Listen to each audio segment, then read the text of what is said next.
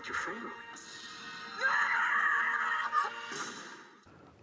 Hello, everybody. Welcome back to Screen Stars. I'm here today to bring you my review for the 2023 action thriller Little Dixie. The film is written and directed by John Swab and it stars Frank Grillo, Annabeth Gish, Eric Dane, Peter Greene, Beau Knapp, and uh, we also have Sophia Bryant.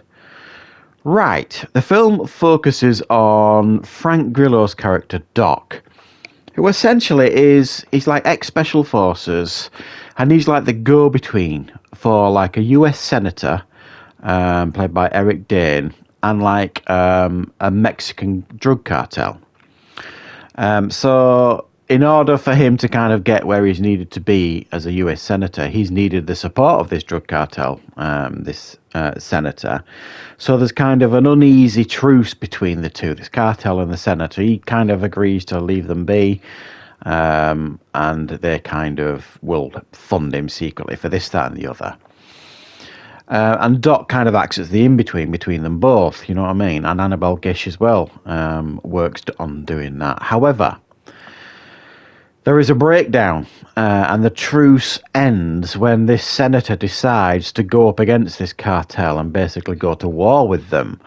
This this then leads Frank Grillo's character Doc in a very very vulnerable position, uh, and it puts him and his family in immediate danger. And in actual fact, his daughter is kidnapped by a hitman for this cartel, and they inform him that he has to take out this senator or his daughter will be killed.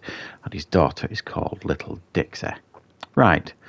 What are my thoughts on Little Dixie? Well, um, if you watch my content fairly regular, you know, I, I review a lot of like, you know, low budget B movie, action films, horror films, sci fi films, the whole shebang. And unfortunately, while I really do like Frank Grillo, he does appear in a lot of these movies, unnecessarily so. And I seem to say it every time I see him in one of these low budget films. What are you doing, Frank Grillo? However, you might be expecting me to say, well, he's at it again here with this film. But no, this film is more like it, Frank Grillo. These, this is the sort of film that Frank Grillo should be making. It's not as high profile as it should be, you could argue. It's not exactly going to, you know, light up his filmography or anything, but is the main star, and it's a nicely put together film. Um, and I, I, I found the whole thing quite watchable, if a little bit flawed. Um, the the character Frank Grillo's character, Doc, he kind of he's not necessarily the hero of the film because he very much uh, operates in the grey area in this film. He does some really quite questionable things, uh, but it's in the aid of trying to get his daughter back. So you could kind of say it's justified um, the things that he's doing, but he does do some very, very questionable things um, with a chainsaw and taking out people who you would think, wow, uh, uh, what are you doing? You're supposed to be like the character I'm supporting. So it's one of those films where there's no right or wrong, there's no good or bad, there's just a character. Doc in a situation, and he has to make the best of it. He's got to do what he has to do to get his daughter back. So it doesn't present anybody as a shining light of goodness, this film. It is very much a film set heavily in the grey area and all the characters.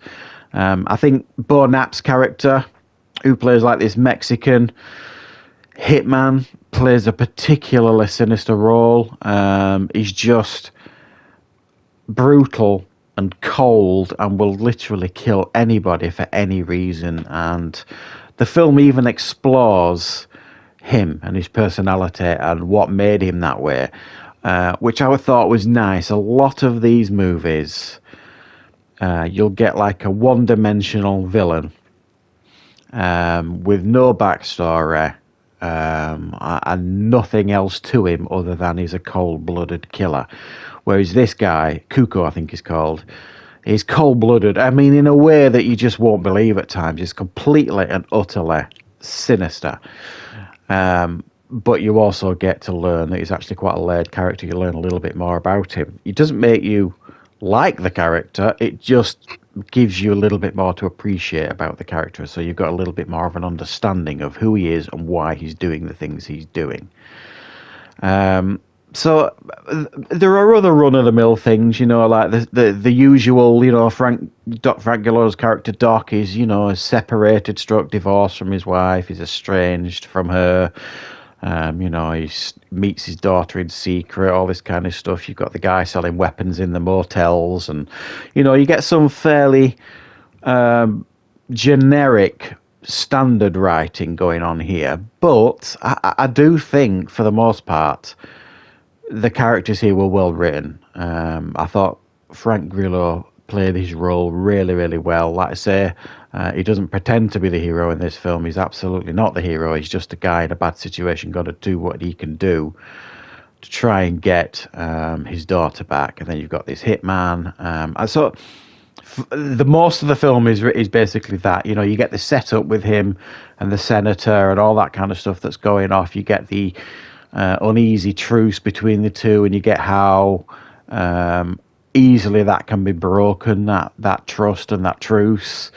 Um, and then it kind of tips over the edge in the second act, and you're like, "Oh my god, it's all going off now." Uh, how, and it's one of those films where you're kind of like, "How is he going to get out of this, Doc? How is he going? What's he going to do?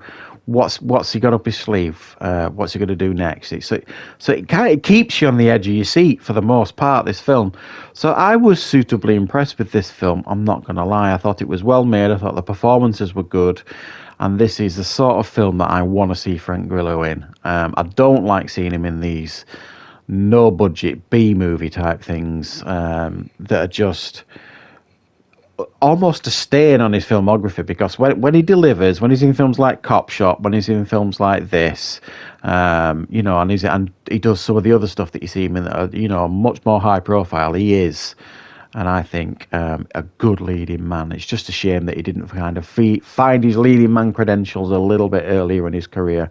I think we would have had a really, really strong action star for a number of years.